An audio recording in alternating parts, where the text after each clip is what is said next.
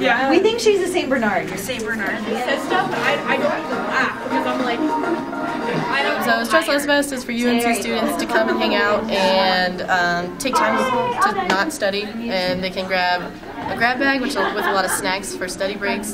They can pet dogs. Um, they can make soap. They can do aromatherapy rice bags. They can also do make air fresheners and play games. And there's also massages.